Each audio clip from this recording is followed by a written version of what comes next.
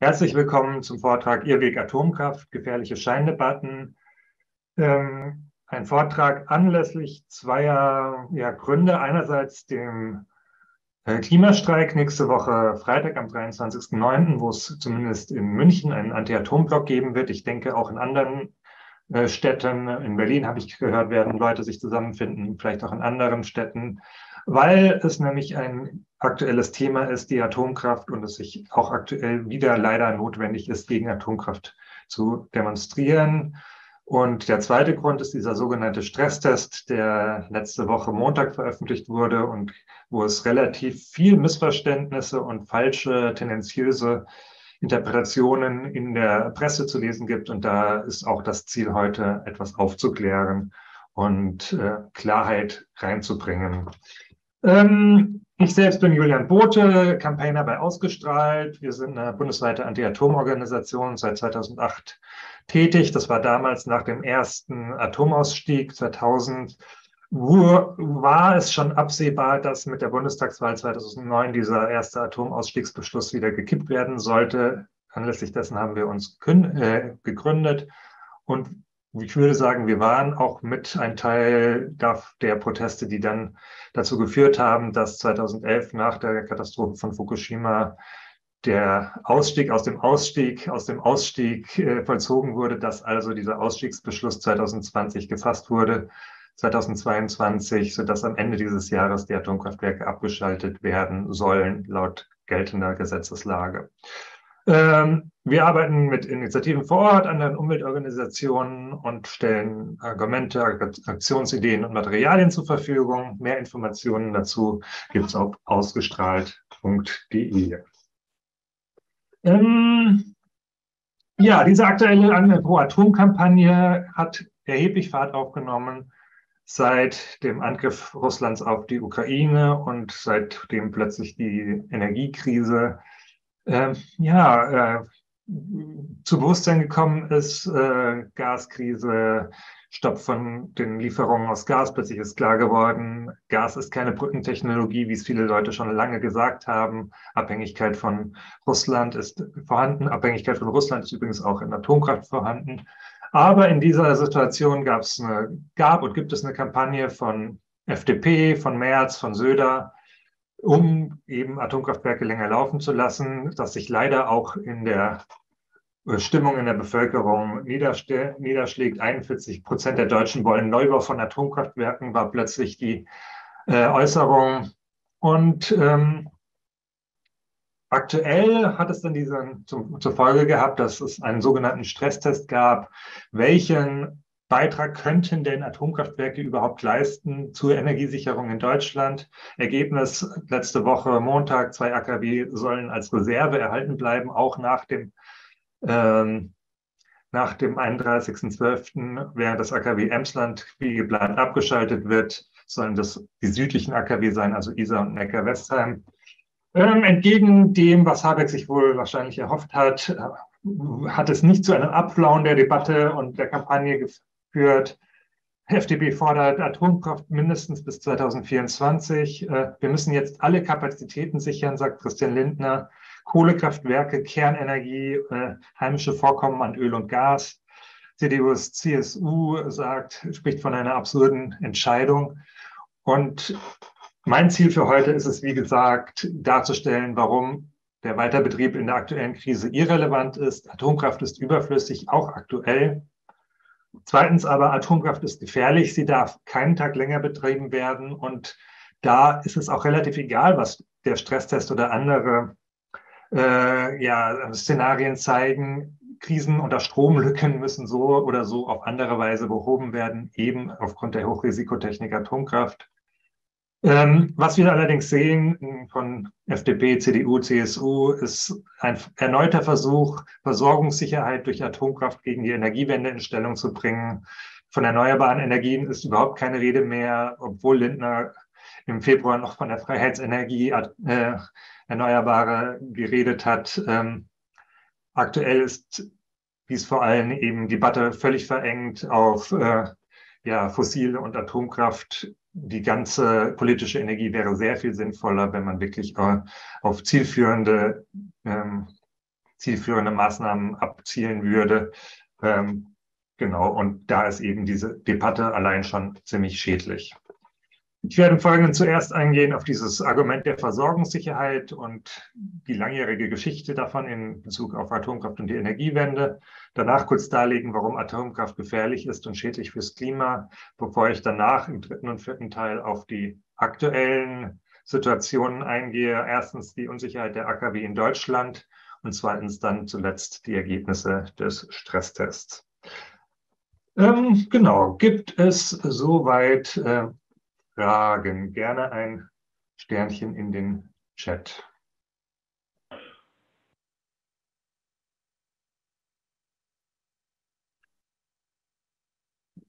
Es scheint nicht. Doch, es gibt eine Frage. Dann, äh, genau, erstens Atomkraft, Energiewende und das Argument der Versorgungssicherheit.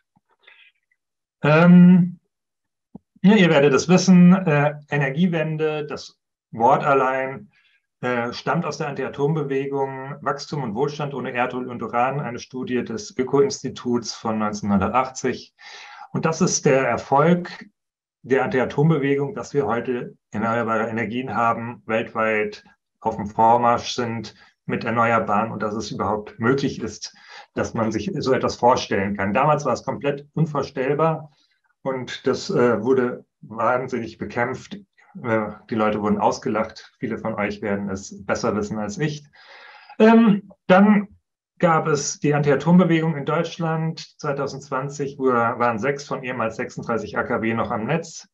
Die letzten, vorletzten drei wurden letztes Jahr, letztes Silvester abgeschaltet und jetzt sind eben noch drei am Netz. Ähm, ISA 1, ISA 2, Neckar-Westheim und äh, Lingen-Emsland.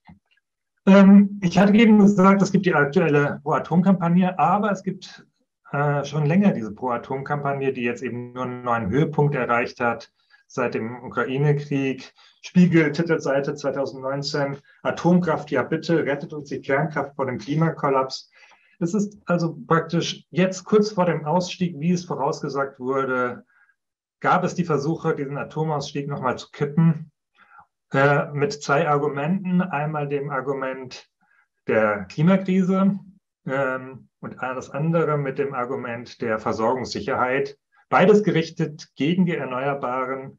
Äh, Hintergrund immer, ja, die Erneuerbaren, die schaffen, da, das schafft man doch sowieso nicht, deswegen brauchen wir die Atomkraft teilweise auch explizit geschrieben in den verschiedenen äh, Beiträgen.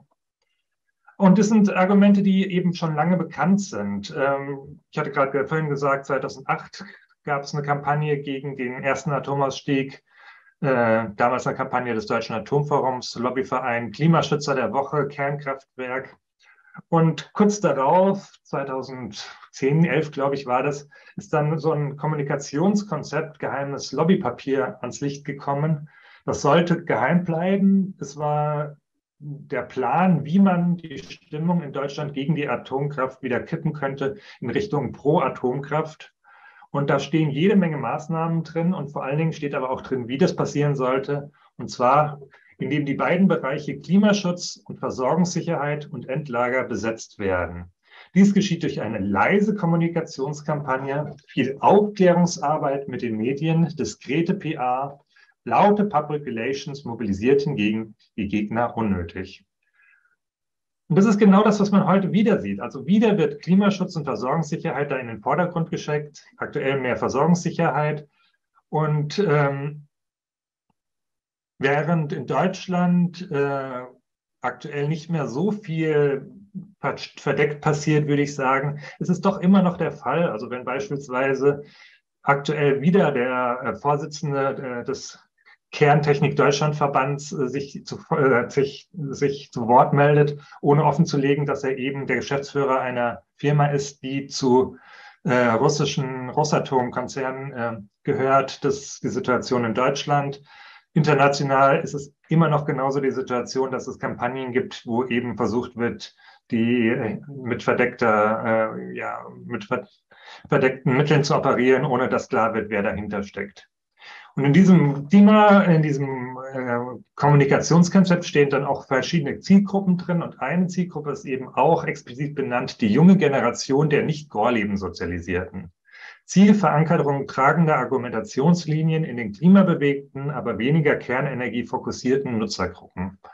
Und das ist eben etwas, was wir heute wieder beobachten, dass viele dieser Maßnahmen darauf abzielen, so zwischen Klimabewegung und Atombewegung zu spalten, dass äh, versucht wird, da so Technikunsicherheit zu, zu streuen. Und deswegen freue ich mich eben sehr, dass es am Klimastreik am äh, nächste Woche Freitag eben diesen Anti-Atom-Block auch gibt in München, wo eben in unmittelbarer Nähe das Atomkraftwerk Isar ist.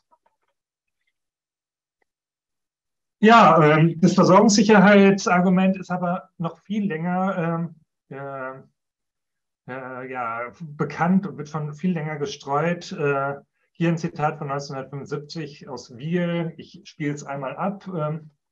Ohne das Kernkraftwerk Wiel werden zum Ende des Jahrzehnts in Baden-Württemberg die ersten Lichter ausgehen.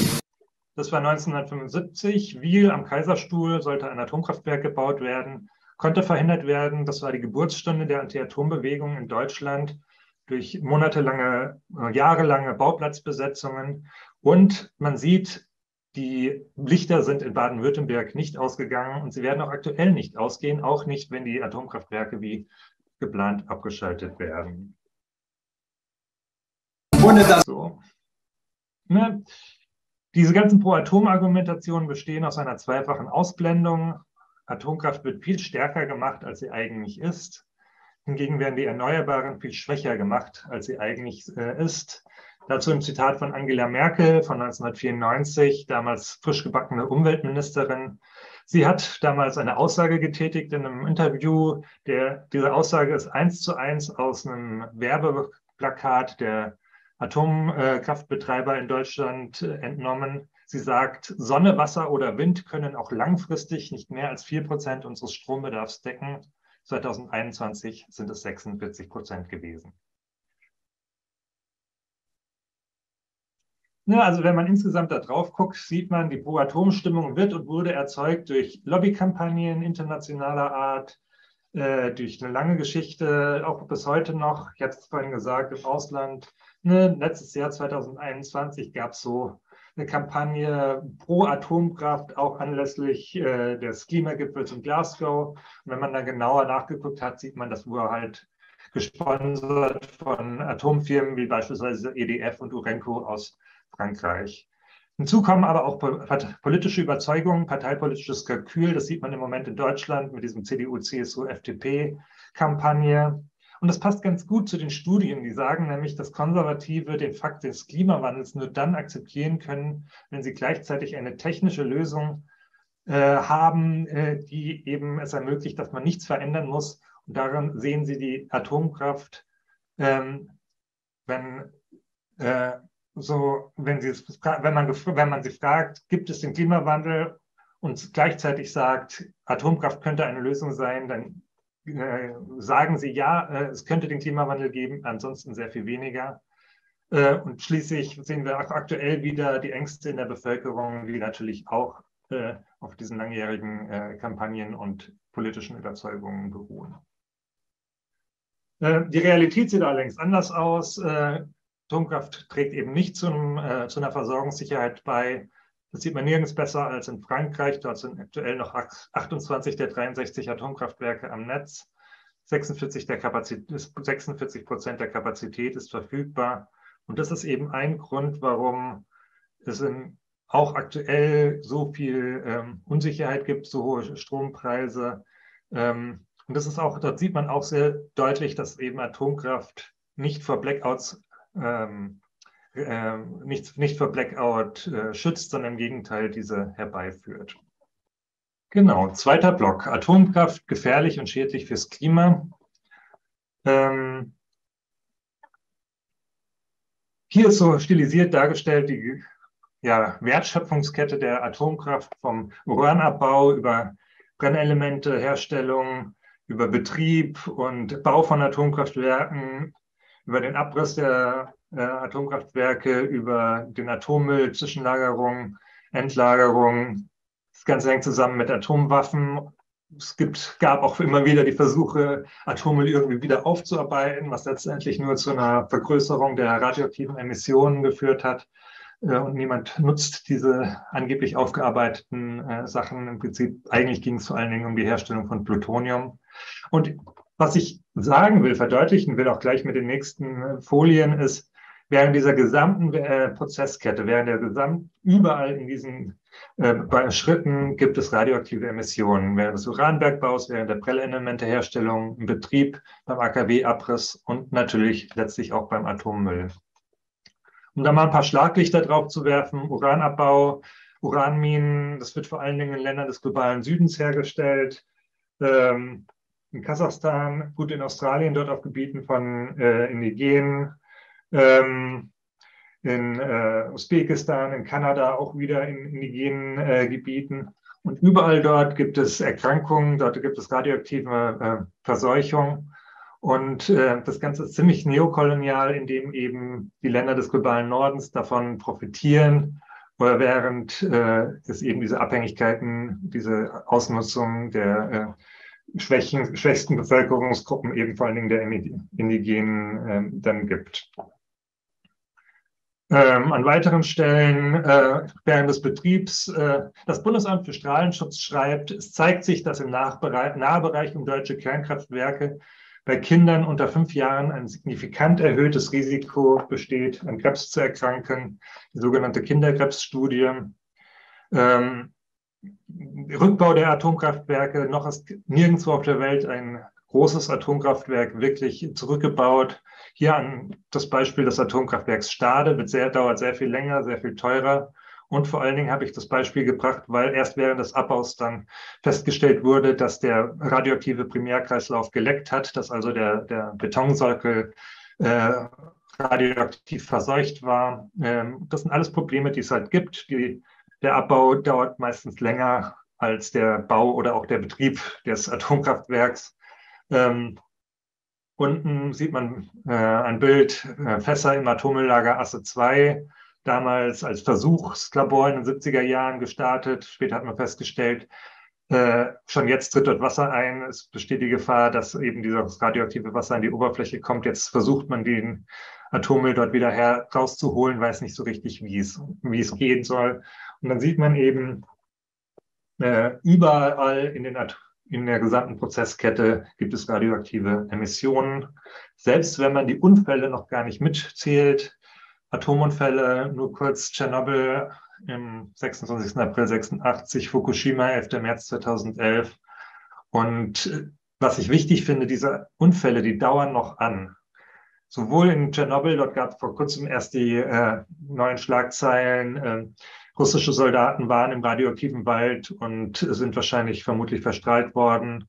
Noch heute muss man in Süddeutschland jedes, ähm, jedes ähm, Wildschwein auf Radioaktivität überprüfen, wegen der Strahlung, die damals äh, aus Tschernobyl in Bayern äh, abgeregnet äh, hat.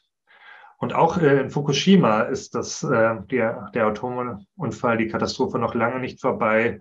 Noch immer ist der geschmolzene Reaktorkern unzugänglich. Ähm, noch immer liegen dort in Fukushima zahlreiche Säcke mit abgetragener Erde, wo man eben versucht hat, die Oberfläche zu dekontaminieren. Und auch dort sieht man, äh, die Schwächsten sind diejenigen, die sich nicht leisten können, wegzuziehen. Und die, die, das sind diejenigen, die am meisten davon ähm, ja, belastet sind, weil sie eben keine andere Möglichkeit haben. Ähm, Atomkraft ist teuer und schädlich für, fürs Klima. Atomkraft ist die teuerste Technologie und die einzige mit steigenden Kosten.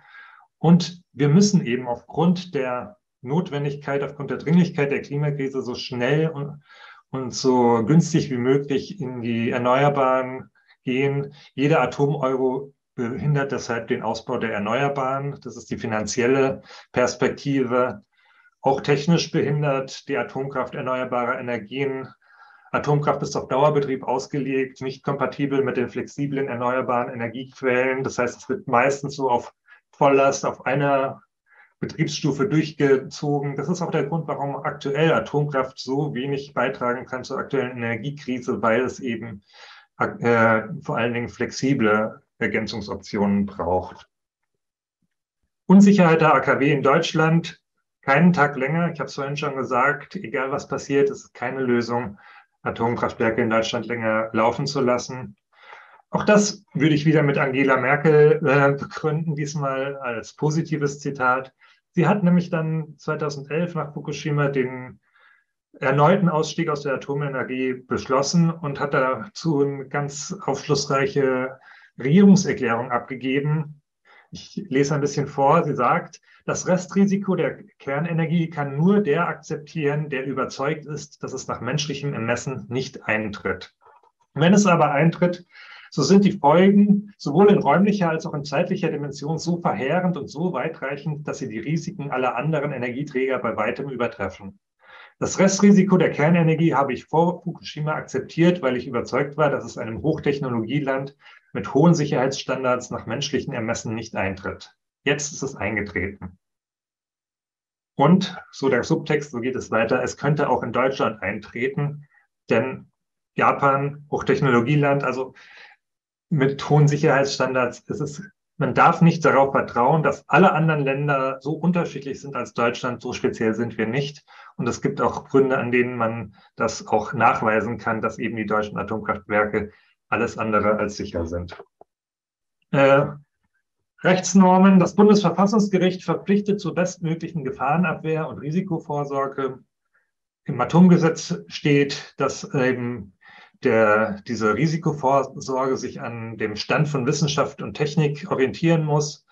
Äh, und man muss dafür sorgen, dass entsprechend dem fortschreitenden Stand von Wissenschaft und Technik die Sicherheitsvorkehrungen verwirklicht werden. Wenn man sich jetzt mal anschaut, was ist der tatsächliche Fall bei den Atomkraftwerken in Deutschland?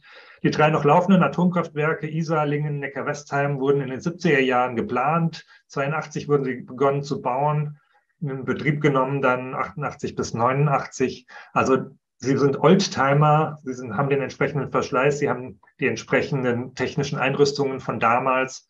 Ähm, also das ist alles andere als der Stand von Wissenschaft und Technik. Es gibt dann diese periodischen Sicherheitsüberprüfungen, die alle zehn Jahre nochmal über die jährlichen Prüf Prüfungen hinausgehen. Da wurde die letzte 2009 durchgeführt, gemäß den Regeln der 1980er Jahre, also noch vor Fukushima und ohne all das, was man seitdem auch herausgefunden hat an Altersverschleiß in Deutschland.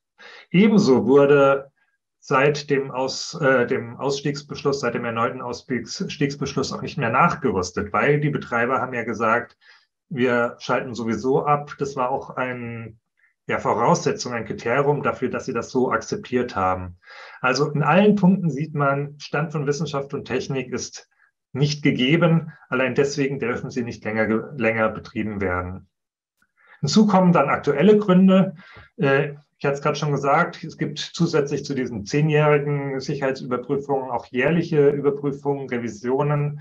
Da war die letzte bei ISA im Oktober 2021. Das heißt, wenn Ende 2022 der ISA vom Netz geht, war der Betrieb bereits drei Monate länger als normal. Normal ist elf Monate laufen lassen, ein Monat Revision überprüfen, neue Brennelemente etc.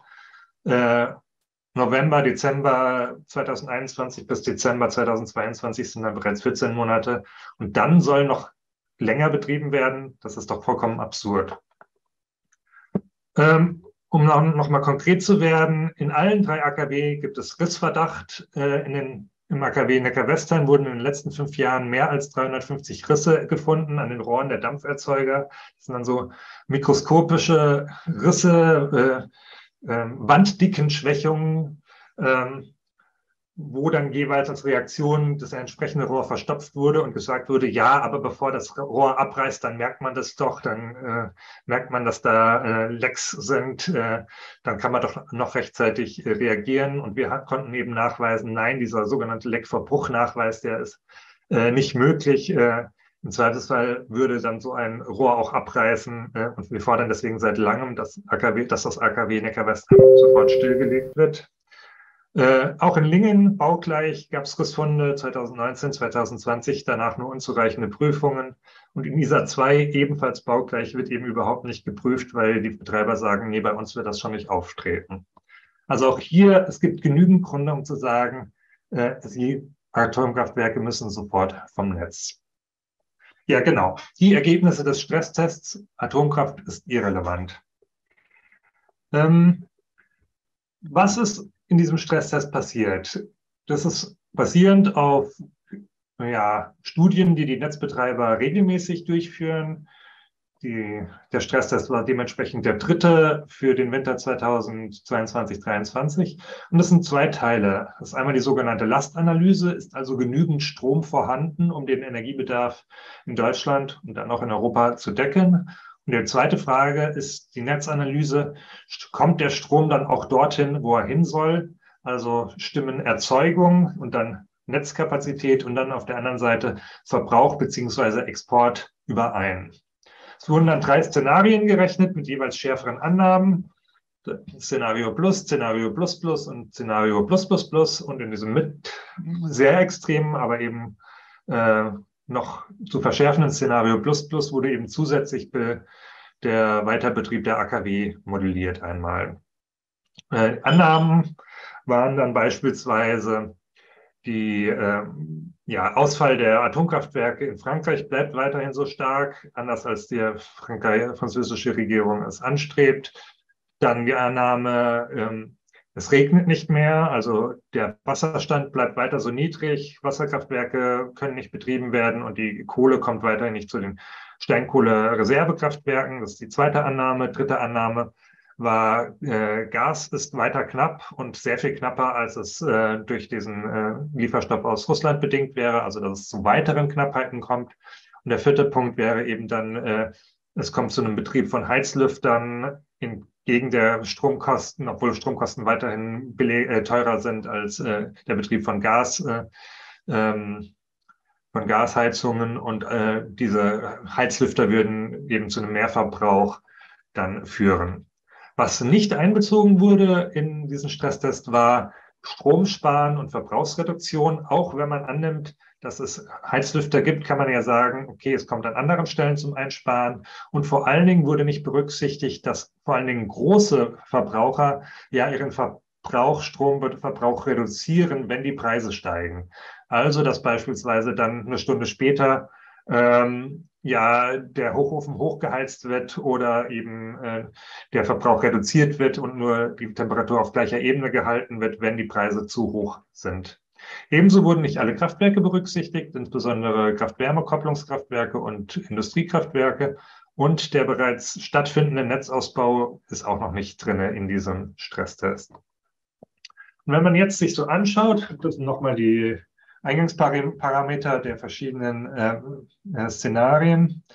Und wenn man sich dann anschaut, was die Ergebnisse sind, dann sieht man, dass die äh, Stromsicherheit, die Versorgungssicherheit in Deutschland sehr hoch ist. Also ähm, in diesem Szenario Plus, wo also verschiedene Parameter kombiniert sind, die äh, schon sehr kalt, sehr, also sehr außergewöhnlich sind, aber eben noch realistisch, dann gibt es in Deutschland überhaupt keine Lastunterdeckung äh, dann, wenn man diese beiden äh, noch stärkeren Szenarien nimmt, plus, plus und plus, plus, plus, äh, dann kommt es in Deutschland nur zu stundenweisen, stundenweisen Lastunterdeckungen, obwohl dies erstens äh, sehr starke, sehr außergewöhnlich, äh, außergewöhnliche Parameter sind. Auch das Wetterjahr, was da zugrunde gelegt wurde, 2012 war ein äußerst kaltes Jahr mit äh, einer längeren Periode, wo weder die Sonne geschienen hat, noch der äh, Wind geweht hat. Und trotz dieser relativ äh, starken äh, Annahmen kam es eben dann nur zu einer stundenweisen Lastunterdeckung,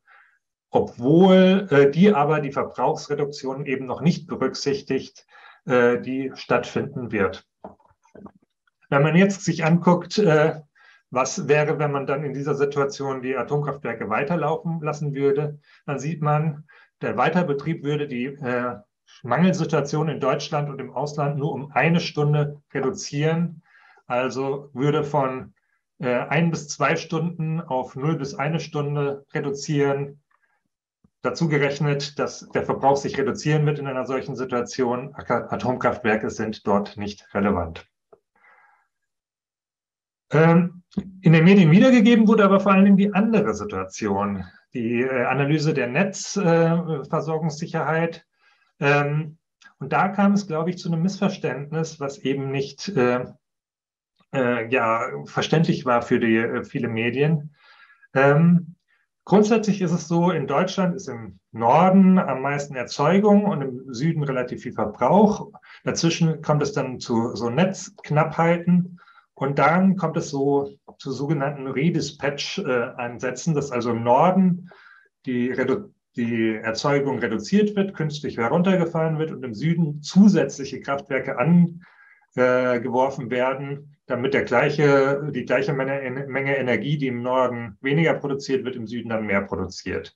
Um da die Börse nicht zu stören, sind es dann extra Kraftwerke, die im normalen Betrieb gar keine Rolle spielen ähm, das ist dieser sogenannte Redispatch. Und jetzt guckt man sich mal an, wann kommt es denn zu diesem großen Ungleichgewichten zwischen Erzeugung und Verbrauch und Export? Das ist die sogenannte Stark-Wind, Stark-Last-Situation. Also dann, wenn im Norden viel Wind, Wind weht, dann ist der Strom billig. Dann kommt es dazu, dass die anderen Länder sehr viel Strom aus Deutschland kaufen, der exportiert werden soll, der aber nicht exportiert werden kann, weil die Netze nicht äh, ausreichen. Das Problem ist also, man hat die Strombörse, man hat den Strommarkt, der aber die realen Kapazitäten gar nicht berücksichtigt. Der Markt will in dieser Situation also den Strom exportieren, real geht es nicht und dann kommt man zu diesem Ungleichgewicht zwischen äh, ja, Erzeugung und Verbrauch, Export, der dann eben äh, in den Medien wiedergegeben wurde als, oh, wir haben viel zu wenig Strom. Nein, wir haben nicht viel zu wenig Strom, wir haben genügend Strom. Er kann halt nur nicht exportiert werden, weil die Netze physikalisch nicht ausreichen. Was äh, wäre dann, wenn man hier zusätzlich die Atomkraftwerke laufen lässt? Dann sieht man, der Weiterbetrieb reduziert dieses Ungleichgewicht, diesen Redispatch-Bedarf von 5,1 Gigawatt auf 4,6 Gigawatt, also nur um 0,5 Gigawatt weniger Ungleichgewicht durch einen Weiterbetrieb der Atomkraftwerke im Süden.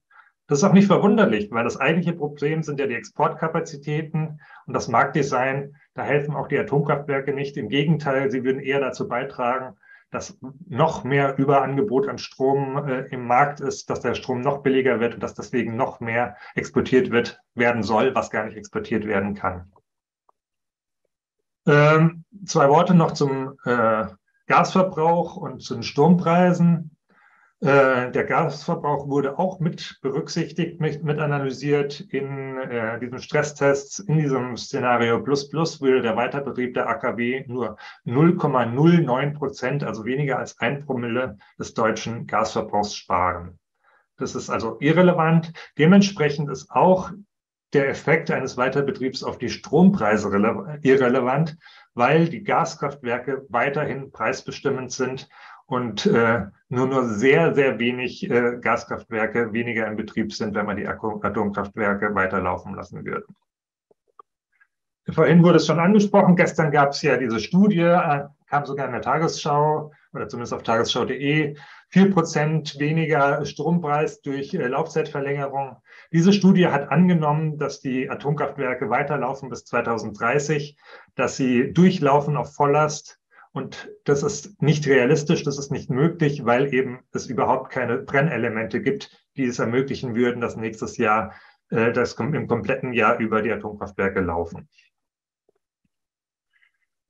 Was sind tatsächlich zielführende Maßnahmen gegen die Energiekrise? Den Stromverbrauch zu reduzieren ist sehr zielführend und ist es notwendig, die Lastspitzen zu verschieben in diesen einzelnen Stunden, die ich vorhin gesagt habe.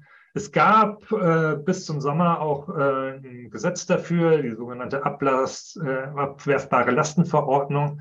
Ähm, es waren vertragliche Regelungen mit Großverbrauchern, die dann gesagt haben, okay, wenn es zu wenig Strom gibt, dann könnte man unseren Verbrauch reduzieren.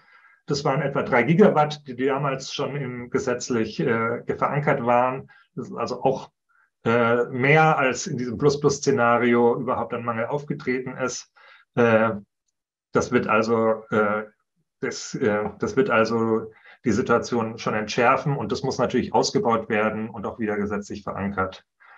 Zusätzlich sagen die Stromnetzbetreiber auch eine Reihe von weiteren Maßnahmen. Stromleitungen besser ausnutzen, also beispielsweise berücksichtigen, dass im Winter das Wetter meistens kalt ist, dass deswegen mehr Strom durch die Leitungen fließen darf. Das ist im Moment noch gesetzlich regulatorisch nicht möglich. Und die bisher unberücksichtigten Industriekraftwerke und kleinen Kraftwerke zur Stromnetzstabilisierung mitnutzen. Und natürlich äh, einbeziehen, dass die physikalische äh, physikalischen Exportmöglichkeiten geringer sind als das, was der Strommarkt annimmt.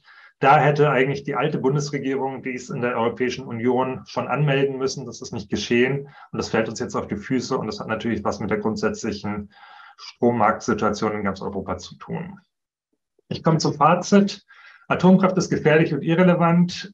So würde ein Weiterbetrieb Sicherheitsanforderungen ignorieren und Recht brechen. Die Analyse vom Stresstest zeigt aber, Deutschland hat genügend Strom. Problem ist scheinbar der Export, der ist aber sowieso physikalisch begrenzt. Für ein Weiterbetrieb ist für die Stromversorgung irrelevant. Was also tun? Nicht spalten lassen, eigene Geschichte kennen und die Erfolge sozialer Bewegungen verteidigen. Es ist wichtig, dass wir uns solche Ausstiegsdaten nicht nehmen lassen. Wenn wir jetzt sagen würden, ja, aber man muss ja weiter betreiben bei Versorgungssicherheit, dann wird das mit allen anderen Technologien auch passieren, äh, egal sei es Kohle, Auto, Gas. Und wir müssen so schnell wie möglich runter aus allen fossilen und der Atomenergie, allein schon wegen der Klimakrise. Was weiter tun? Aufklären, weitererzählen, erzählt weiter, was ich hier erzählt habe. Äh, wie gesagt, das Video wird auch online stehen und sich gegen den Weiterbetrieb positionieren. Atomkraft keinen Tag länger, beispielsweise beim Klimastreik nächste Woche Freitag oder eben äh, mit einer Anti-Atom-Fahne, auch jeder bei sich zu Hause. Nochmal das Fazit. Weiterbetrieb ist in der aktuellen Krise irrelevant. Atomkraft ist überflüssig. Atomkraft ist gefährlich und darf keinen Tag länger betrieben werden. Die aktuelle Debatte setzt langjährige Versuche fort, Versorgungssicherheit durch Atomkraft gegen die Energiewende in Stellung zu bringen. Mehr Informationen oder auch Mitmachmöglichkeiten gibt es unter ausgestrahlt.de und ich bedanke mich und freue mich auf die Diskussion.